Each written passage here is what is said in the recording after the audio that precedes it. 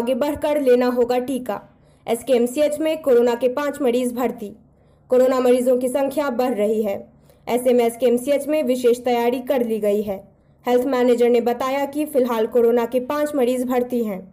इधर जिला हिंदी साहित्य सम्मेलन के प्रधानमंत्री उदय नारायण सिंह ने सोमवार को पत्नी के साथ कोविशील्ड का टीका लिया। उन्होंने कहा कि यदि कोरोना को भगाना है तो सबको आगे बढ़कर टीका लेना होगा। मास्क लगाना चाहिए। शारीरिक दूरी का पालन भी अनिवार्य है। इन दिनों कोरोना के मरीजों की संख्या फिर बढ़ने लगी है।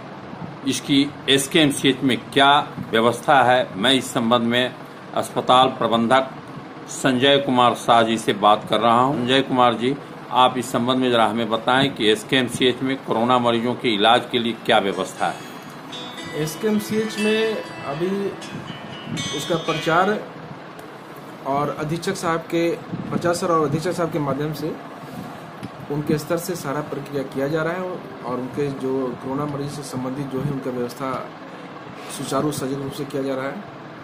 और अभी वर्तमान में पाँच पेशेंट भर्ती हैं, जो दो रेफर हो रहे हैं। और ऐसा, सारा व्यवस्था किया जा रहा है कि उनको कोरोना मरीज़ से ग्रसित मरीज़ को किसी तरह का कोई दिक्कत ना हो।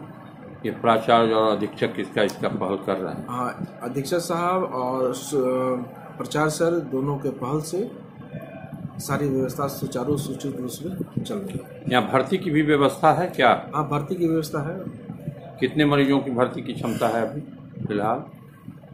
अभी तो चौंतीस जो हमारे बेड है एक नंबर वार्ड का चौंतीस बेड और चार बेड है। चौंतीस बेड पे अभी है। अभी सर ने एक और वार्ड के लिए बोला गया है कि ताकि चौंतीस बेड और मिल सके। अच्छा चौंतीस बेड रेडी है और चौंतीस की और प्रक्रिया जारी किया जा रहा है। जाँच की सुविधा है सर? हाँ जाँच की सुविधा है सारा सुविधा इसके लिए चिकित्सक भी हाँ चिकित्सक का twenty four hour duty roster है। हमारे जो कोविड के इंचार्ज सर हैं उनके द्वारा ट्वेंटी फोर इंटू सेवन का रोस्टर लगा हुआ है। इंचार्ज सर कौन हुए सर? इंचार्ज सर हमारे अमानदार सर वो सर अच्छा वो जो नोडल पदाधिकारी। नोडल पदाधिकारी सर। अच्छा अच्छा। सारी व्यवस्था उन्हीं की देखरेख में भी जी जी जी। चलिए सर धन्यवाद। तमाम लेटेस्ट खबरों को सबसे पहले देखने के लिए सब्सक्राइब करें डिजिटल न्यूज़ 20